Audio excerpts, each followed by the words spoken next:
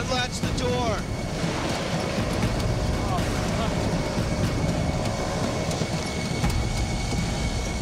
Brace yourselves.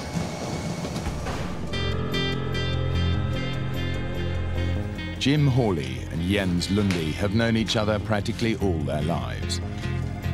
He's more like almost like a brother, you know, somebody I could never get rid of if I wanted to. You know, we'll always be friends. Hey, do you remember the life jackets? Yeah, I got them. You worry about flying the plane. We've always been really close friends. Here they come. The friends have asked their fathers to join them for a weekend of fishing in Mexico. They hope that the trip will prove a turning point in their relationships. I hadn't seen Jens probably in three or four years.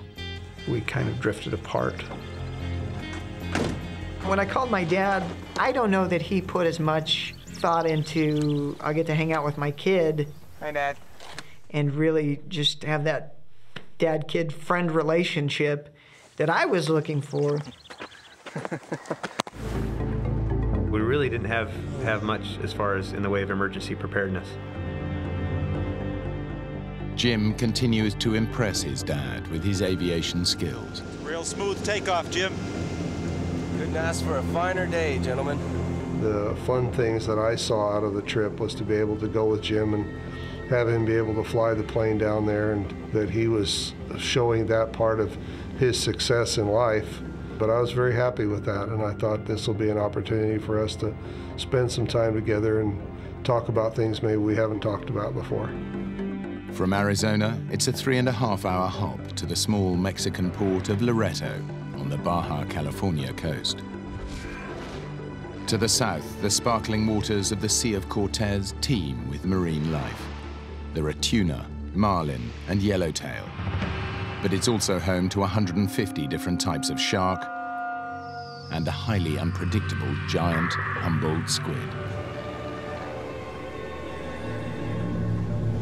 Loreto Tower, Mooney, November 201, Juliet Mike. I'm about 30 miles out. I see a lot of weather building in front of me. Can you give me an idea of the weather at the airport? I had kind of a premonition that something was going to go on with this, something was going to happen. I was beginning to get pretty concerned. I couldn't raise anyone. Okay, guys, I'm gonna take us through this. We'll make better time. Jim thinks it's just a squall, but he's actually flying into a violent storm. It was just a real weird mix of waking up and trying to figure out where in the story I was in, in the opera and what was going on in the plane at that point. I'm gonna take us up. Good, good. I'd like to have my stomach back.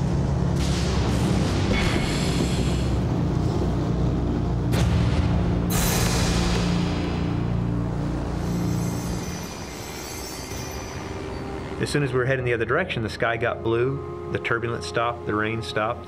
Everybody okay? I didn't think you felt the bumps in first class. Their sense of relief doesn't last long. It was very alarming when the engine quit. It just, it just sort of grenaded. What's happened, son? I don't know. There's a single propeller blade stuck in the vertical position right in front of us. It was like the hand of God reached up and shook the plane. Unlatch the door.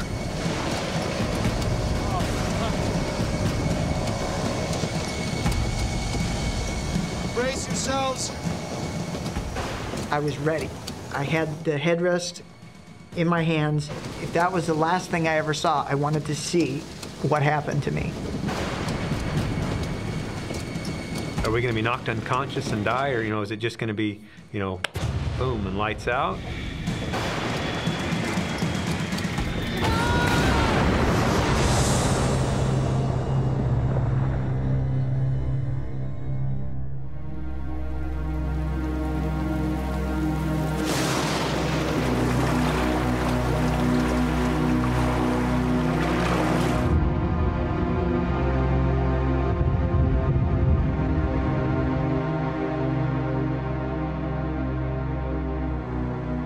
I realized that nothing had happened that I was expecting to happen. I was expecting the plane to cartwheel and come apart in pieces. We're alive.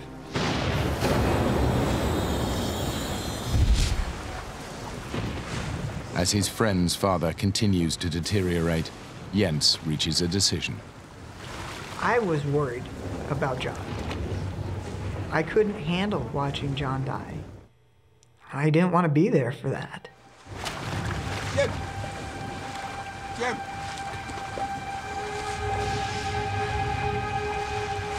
Jens and Jim separated from us for some reason. We need to get help for your dad! I don't think anyone's coming! I'm gonna try and make it ashore. My plan at that point was to leave Jim with my dad to care for my dad in case something happened. Okay, let's do it! No, Jim! On my own! And I said, come on, you know, that's. Are you gonna swim by your? You gonna swim alone? You're just gonna leave us and swim alone? That doesn't make sense! We should swim together! I had already made up my mind at that point that I was leaving. Jim knows it may be the last time he sees his friend. Now he has to break the news to Jens's father. He's going for help! Why? Why'd you let him go by himself? You shouldn't have let him go by himself! That's my son! And he said that uh, they had decided that somebody needed to go for help.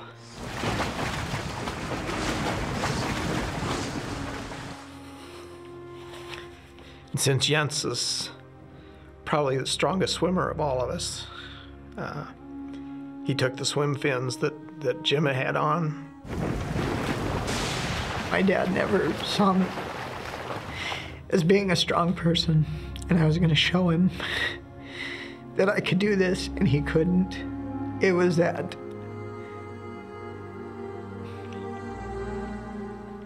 It was that. I've grown up, and, and I'm going to show you.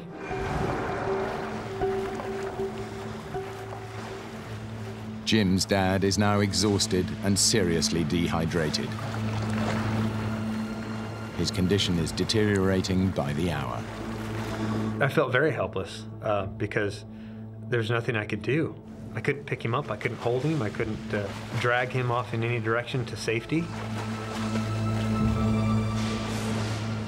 There's uh, there's a feeling of extreme helplessness. As night fell, the storm subsided. But Jens still has many hours swimming ahead of him before he can reach land and raise the alarm. I'd been swimming for nearly six hours. I was thirsty, uh, really thirsty. Exhausted, Jens faces a new ordeal. A swarm of stinging jellyfish. It felt like when your hand goes to sleep or your foot goes to sleep, just in little spots all over.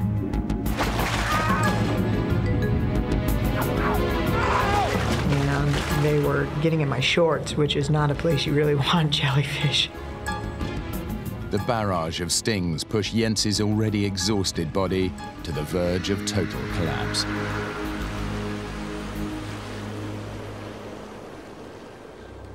I had way too much to live for, you know. All I wanted was to make sure I got back to my beautiful wife and my child. I could hear my wife's voice of encouragement. Just hang in there. You can get through this. I'm fighting off the cold, I'm fighting off the chills by using more energy to keep myself warm. And I remember thinking, how long can I keep that up? How long until the body finally just gives out? And will I be aware of that happening or will I just sort of all of a sudden, you know, there's a light and there's grandma and Elvis and, you know. It's now over 12 hours since their plane was forced to ditch in the sea, and all three men are beginning to lose hope. They don't know if they can make it till daylight.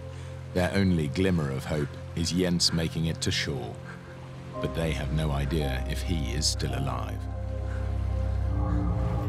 Jens is still struggling to find his way through the hazardous reef. Finally, after two hours, he sees something. That was just uh, It was amazing. As I swam farther and farther south, I saw a light on the beach. It was a Mexican fisherman that had camped out on this beach. He doesn't get the reaction he was expecting. The fishermen are wary. People coming ashore in the middle of the night are often drug smugglers. I'm sorry, I don't understand. No, no, no hablo español. Um, The fisherman spoke no English, not enough to communicate what happened and what I needed. Jens is led away by the fishermen. He has no idea where they're taking him, but he's given up trying to make himself understood. It was horribly frustrating to not be able to, to, to tell them, look, we need to go back out there and find these other people. They are in danger. And instead of heading out to look for the others, they started taking me south. What Jens doesn't know is that the fishermen are taking him to the port of Loreto. There, he can at last alert the authorities to mount a rescue mission. Now, he faces an agonizing wait for news.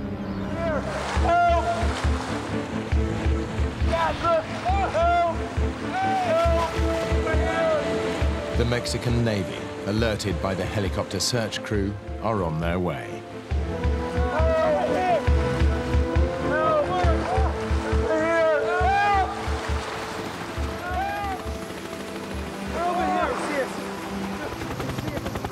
Jens' epic swim has saved their lives.